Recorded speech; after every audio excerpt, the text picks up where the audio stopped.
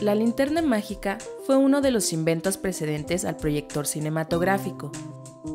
Su producción corría a cargo de diversas marcas, siendo una de las más importantes Universal. La linterna mágica se componía de una caja de chapa y una chimenea en la parte superior. Su interior guardaba un mechero que se alimentaba de alcohol o queroseno, produciendo una mecha controlable mediante cuatro palancas.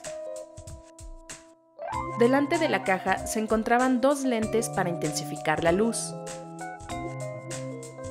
La caja tenía la función de una cámara oscura que pasaba la luz por un portaláminas de madera que contenía las transparencias. Al frente, un objetivo de latón con un lente de proyección presentaba la imagen, y el enfoque era realizado por un tornillo de cremallera para dar una mayor nitidez. Las transparencias eran colocadas en el portaláminas. Este era colocado en la linterna para proyectar la imagen.